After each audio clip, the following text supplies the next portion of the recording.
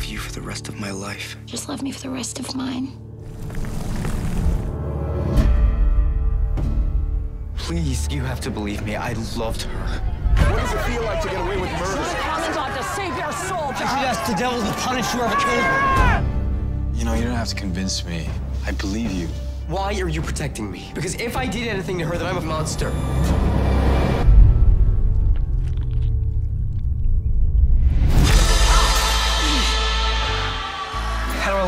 Did you notice anything unusual? Alien hordes? What are they? You know how I think we should proceed? I should grind me up some Oxycontin and have a little snort. Um. Everyone in this town is going crazy. I it's because of me and these horns. You killed that innocent girl. Now the devil has claimed you. He didn't kill her father, and now people are telling me all these things I don't want to hear. I'm so bad. I'm bad.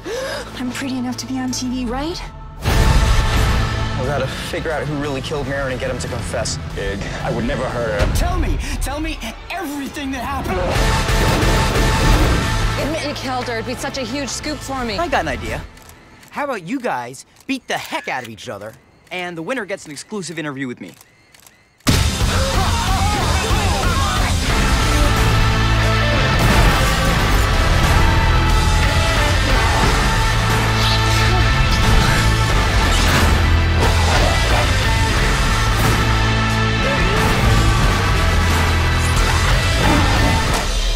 What's that snake doing around your neck?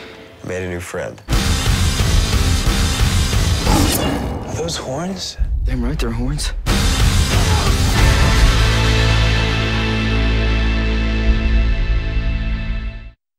Hey movie fans, Valerie here with news on Lionsgate's The Last Witch Hunter, with the studio confirming that Michael Caine has joined the cast. No character details were revealed for the actor, who joins Vin Diesel and Rose Leslie in this upcoming fantasy adventure. Breck Eisner, best known for The Crazies and Sahara, is directing, and the movie comes to theaters in 2016. That's all for today. Subscribe to keep up to date on all the latest releases, and remember, the truth is in the wine. Bye bye.